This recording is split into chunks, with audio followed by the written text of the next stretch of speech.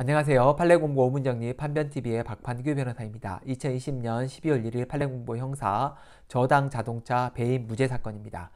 선고일은 2020년 10월 22일이고요. 어, 사건 번호는 2020도 6258 전원합의체 판결입니다.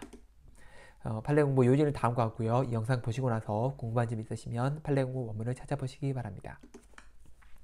이 사건은 업무상 배임에 관한 사건이고요. 피고인이 상고했는데 파기 환송됐습니다. 이건 판례가 변경된 사건이죠. 내용 보시죠.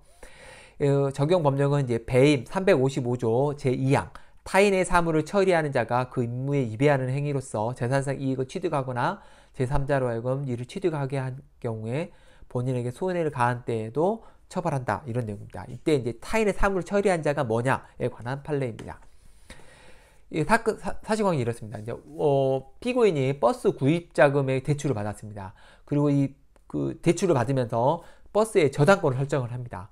근데 이 저당된 버스를 임의로 처분해 버립니다. 그러니까 이제 피고인에 대해서 저당권자가 고소를 했죠. 뭐, 니, 니, 니 맘대로 저당권에 있는 그 버스를 처분했으니까 배임이다. 그래서 고소, 고소를 하니까 이제 피고인이 기소가 된 거죠.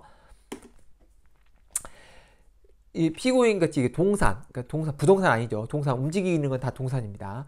자동차에 대해서 저당권이 설정된 경우에 그 동산, 자동차를 임의로 처분하면 배임죄가 되느냐. 이게 이제 문제가 된 거죠. 종래 판례는 배임죄가 된다는 거였습니다.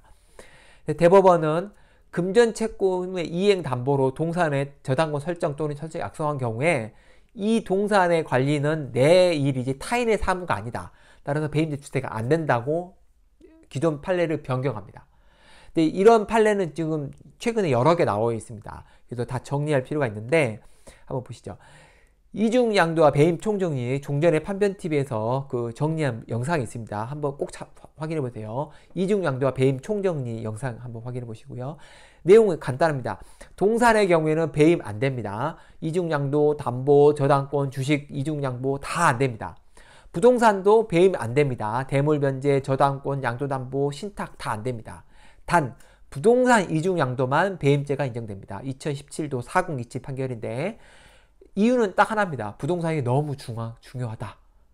하여튼 그게 이유 전부입니다.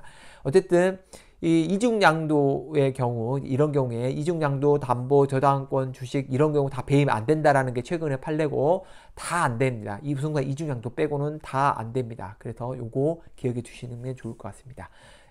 뭐 예전에 그 이중양도와 배임 총정리를 이미 했기 때문에 더 이상 설명을 하지 않겠습니다. 감사합니다.